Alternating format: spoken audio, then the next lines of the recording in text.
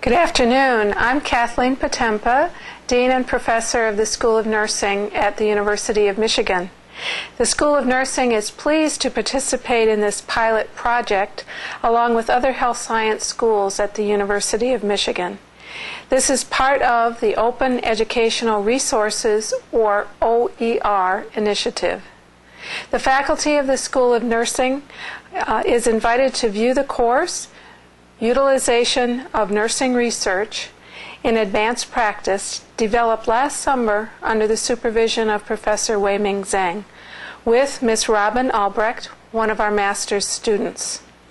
We thank them, along with the faculty members who gave permission to use their course materials in the preparation of this course for the OER format. Dr. Sonia Duffy and Dr. Lisa Kane Low have been pivotal in helping us put this material together.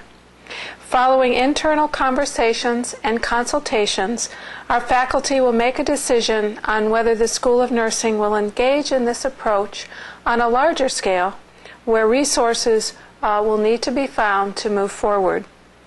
The benefits to various communities are potentially multiple, including ease of access of material to students, availability of materials to our alumni for continuing professional development, and, not at least, a means through which the School of Nursing can make an important contribution to global nursing education.